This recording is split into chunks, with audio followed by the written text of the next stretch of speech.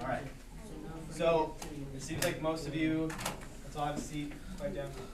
Uh, are, most of you understanding that, uh, what I'm saying by complete the table is that x is going to be each of these seven values. Now we're gonna do like the same thing seven times and get seven different results for y. By replacing x with whatever we're choosing to replace it with. So for the first one, we'll do negative three two thirds times negative three plus five. I'm just replacing x with negative three. And sometimes it's easier just to write it over one so that we can make sure the fractions uh, get multiplied together the way they ought to. So two times negative three, right, when we multiply fractions, we multiply the numerators together and the denominators together. Getting negative six over three, negative six, two, divi- two times negative three, three times one. Right here, it's five. Okay. Now, in this case, it's convenient because negative six can be divided by three. What is negative six divided by three? Negative two. Negative two. Negative divided by positive is negative, right? Six divided by three is two, negative two. Over one. Well, yeah, we don't even have to yeah. Worry about it anymore because we're kind of like out of the fractions realm. And Negative two plus five Three. is Three. three. Oh. Okay, a lot of you had three, so I should leave that. So I'm gonna, I'm gonna do one more, okay, and then I'll, I'll pause for a bit and you guys can continue. I'll do negative two. So put negative two over one here. Two thirds times negative two over one. We multiply the numerators together, the denominators together. Two times negative two is negative four. Three times one is three. That's five. Now the thing about this situation is that negative four can't be divided by three like negative six could. So if we're gonna combine these together, what are we gonna need, need to Common find? denominator. Common denominator. Okay, so we'll put this over one, it's, you know, it doesn't change anything, any number can be over one. And we need a denominator of what? Three. Three. Okay, we multiply this by three, we multiply the numerator by three, get negative four thirds plus fifteen thirds equals eleven thirds. We could write this, now this is as simple as it can be, E- eleven and three don't share any factors, it can't be simplified anymore, but we can write it as a mixed number if we want. Three and two thirds. And if we do write it as three and two thirds, then it can be helpful when we're graphing it, which we will do in a while. It's a little easier to figure out where three and two thirds is than to count out eleven thirds. Okay. I'll try and do both and show you how they're the same thing. Okay. So sometimes maybe the this this guy can be simplified, and other times it can't. Sometimes we need to find a common denominator, and sometimes we don't. Let's continue, right, in our, on our own papers, with our own work, to, uh, you know, if, if you made a mistake there, don't worry about it, just improve, fix that mistake, try the next one, don't make that mistake the next time. And fill out this whole table. I'm gonna pause for a minute and then, uh, walk around the table, walk around the room and, and then, uh, we'll try another one again. Plugging in negative one for x, and maybe writing it over one would help us to keep things straight. Two times negative one is negative two, three times one is three, it's five. Well, it would be great if uh, three could there divide by common divide negative two, but we're gonna again have to find a common denominator. And it's gonna be the, the same again, right? It's still five, the denominator's still three, so we're again gonna find common denominator of three, and it's gonna give us fifteen thirds. Negative two thirds, we take two thirds away from fifteen thirds, how many thirds do we have? Thirteen. We have thirteen thirds, Woozy. which is four. Four and one third. Yeah, four and one third. I got this, man. Okay, let's do this one, cause this one should be, Yeah. Actually, Mac walked in and said, I know zero, cause that's the easiest one. It's five. Because what we're doing is putting a zero in for x, zero is being multiplied by two thirds, what's anything times zero? Zero. Zero, Zero. Plus five equals five. and there could be an easier addition problem than zero plus five. Uh, Okay, continue on to one, two, and three. One, two thirds times one, five. Two times one is two, three times one is three. And there's no surprise, two thirds times one is two thirds, anything times one is just itself. Plus, we'll just go ahead and write fifteen thirds, cause I know that I'm gonna need that, cause I know two thirds can't be simplified. And so we have fifteen thirds plus two thirds, seventeen thirds. Or if we prefer, Five and two thirds. five and two thirds.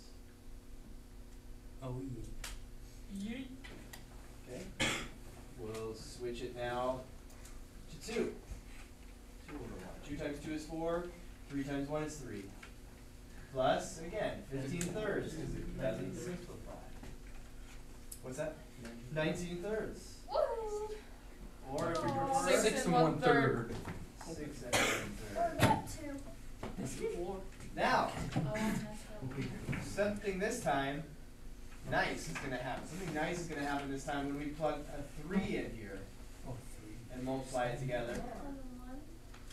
'Cause Two times three is six, Wait, no, I didn't. and six can be divided by three. Seventy-two. Seven. Two plus five, Seven. seven. Careful about being the person with all the answers Okay, and pushing us and rushing us as a class through the answers, okay? Because while that may be great for you, it's not great for everybody, okay? So it. Maybe people just jumping and pushing, going and going and going and going does not necessarily help the people around you. It's not really helping you, so let's just make choices that help ourselves and help each other, right? And support each other as we try to learn new things, right? Uh, we have some, some time right now. I wanna ask you, when do we find a common denominator, why do we do that? No, no, no, Nope. no. I'll try. Not me. Not me. Go ahead. Because you can't do it, like it doesn't like work. Okay, it doesn't work. Maybe let's look at uh, an example that I'm gonna make up right now, like uh, four fifths plus two. So what is it that doesn't work about doing something like six over six, like four plus two and five plus one? What is it that doesn't work about that?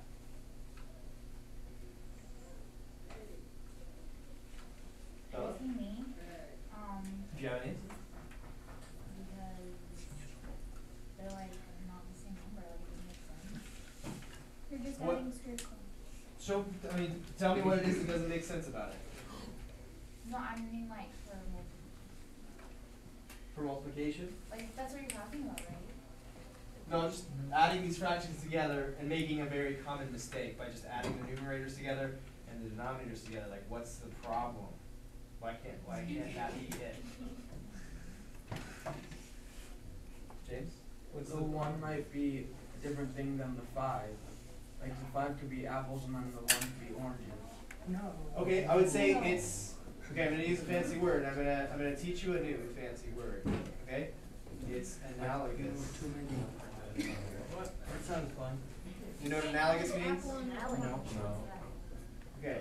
Guess? Do you wanna, uh, know what an analogy is? I've heard of so. Wouldn't that mean like similar? It's a guess, it's like a. No, it doesn't, well, it doesn't exactly mean similar. It compares one thing to It's a another. comparison. Okay, yeah, it compares one thing to another, but two things that aren't really the same thing. So, trying to add these two together is like trying to add apples and oranges. Doesn't mean that it is apples and oranges, it's like it.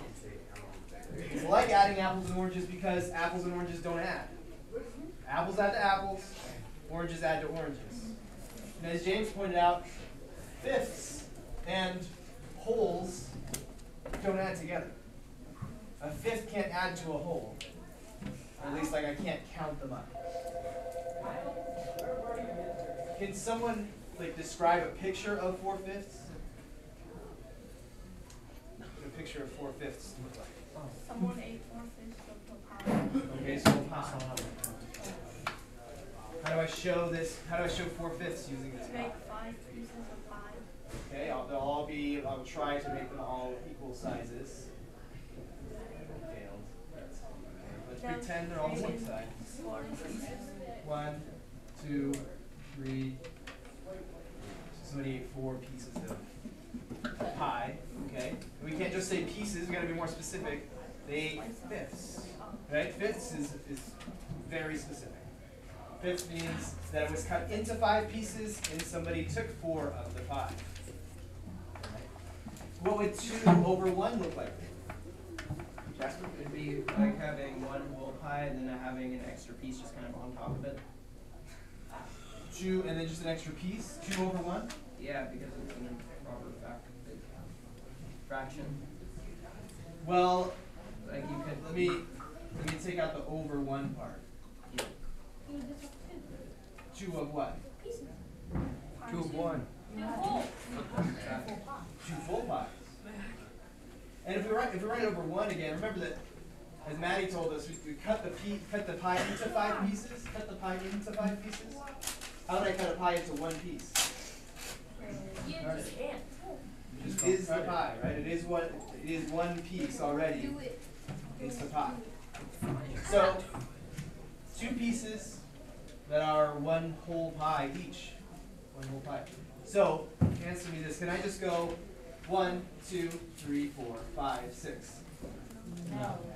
Why not? I just did it. Why can't I do that? It's against the laws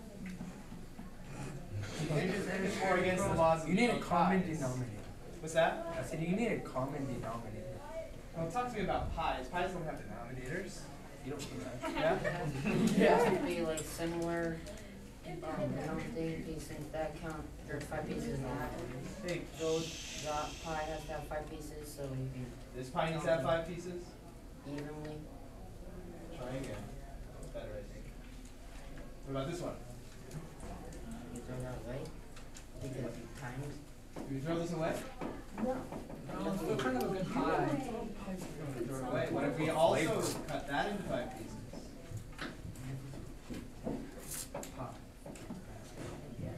Now can I count up, count up all the pieces? I gue- I guess I should shade these in because I, I have all of them. Can I add up all the pieces now? Because they are the same. What? Value. Value.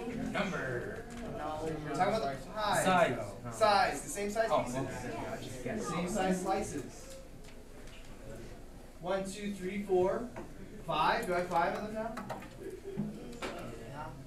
Yeah. They're the same kind of thing. They're the same size. One, two, three, four, five, six, seven, eight, nine, ten, eleven, twelve, thirteen, fourteen of them. Is it true? I I mean, is that fair? Have I counted fourteen things? They're all the same thing. They're all the same size. So yeah, I can add them up.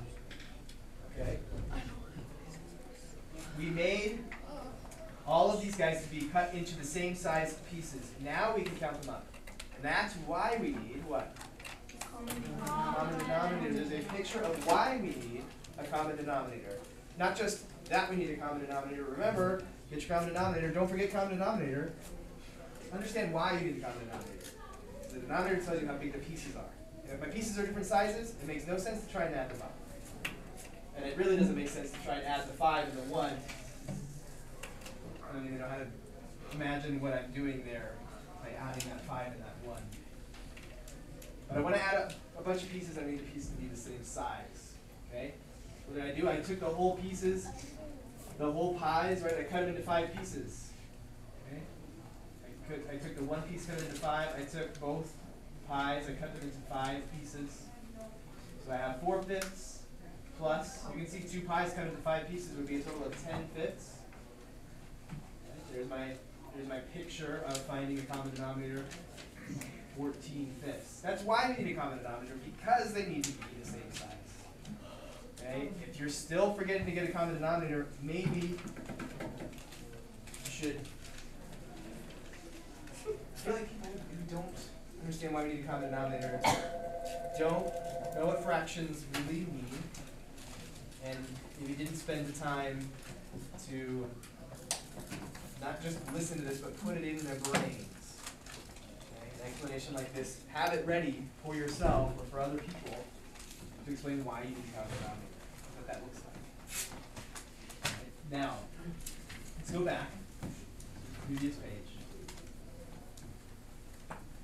Try and get, if we can, if possible, change your hearts and minds to uh, get rid of the stigma, this uh, phobia of graphs. There's nothing to be afraid of here. alright? So when I go to draw a graph, I don't want to think of it as like just a few points and then a line, or just a few points and then a squiggly curvy thing. That thing, that line or that curve, is built of what?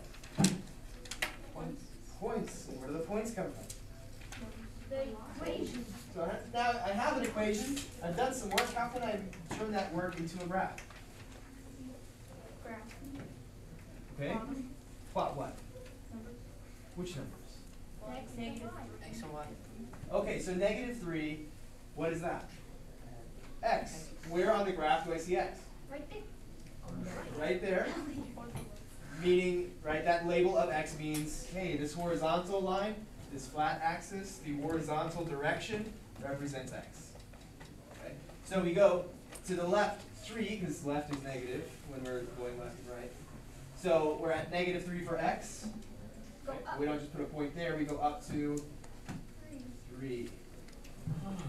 So that one point can tell me two things. By its horizontal and vertical position, it can tell me two things, an x and a y. So it tells me about this equation that if x is negative three and y is three, then it will be equal. Both sides will be equal. Okay, here's another solution, which could translate to another point. Negative two for x, three and two thirds for y. Three, right, and almost a four, two thirds more. Three and two thirds. Let me also show you that that's, that's eleven thirds. One, two, three, four, five, six, seven, eight, nine, ten, eleven. I was on the wrong place, but that's at eleven thirds. X could be negative one and Y could be four and one third. And now that I have three points, pretending like this was a complete mystery to me, I have these three points. Turn the numbers into points, and what do I start to notice about the points? And a line. They're in a straight line. Are all graphs going to turn out to be straight lines? No. No, they're not. Okay, actually a very small set of all of the graphs that are possible are going to be straight lines. Very few graphs are actually straight lines, most of them are not straight lines. We keep graphing, we have x of zero and y of five, that was nice, easy to graph, right there at the intersection of a horizontal and a vertical line. Right? It's the intersection of, of this horizontal here and this vertical here, right on the dot. Those ones are easy to plot. One and five and two thirds. One, x is one. One, two, three, four, five, and two thirds. One, two, and six and a third. One, two, three, four, five, six, and one third.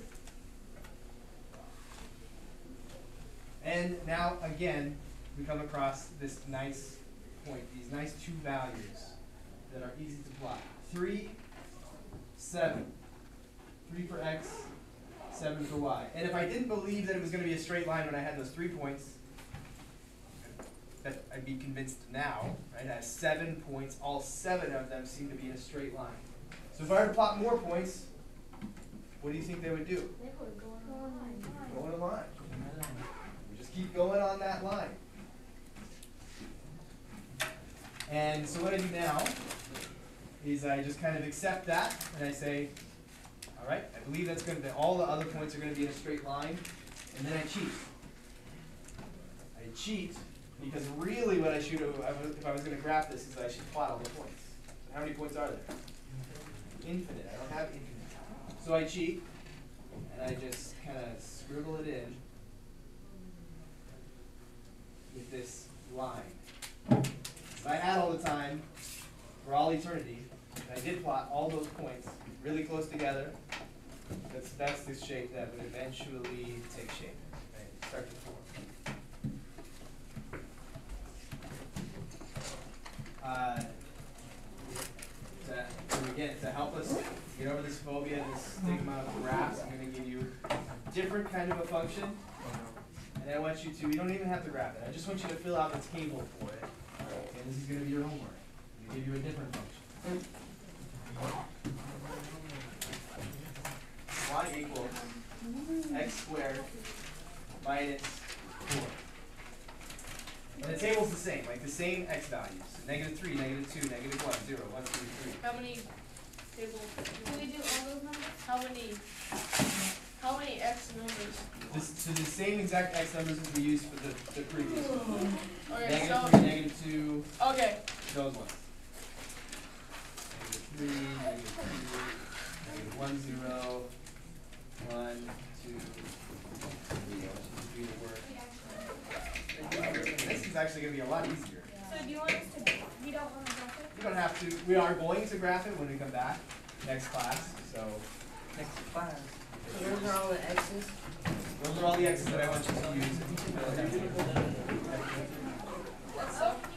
Yeah, it's going to be kind of hard.